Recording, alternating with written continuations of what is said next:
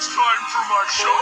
This July, I have found my true purpose. It's pronounced purpose. Nickelodeon is giving you more Patrick in his own series. Come on, brother. It's time to my show. The story characters and names portrayed in this production are suspicious, especially mine. No one was harming on any of the show except me. Thanks for watching.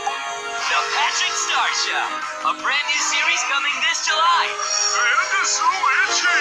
only on Nickelodeon.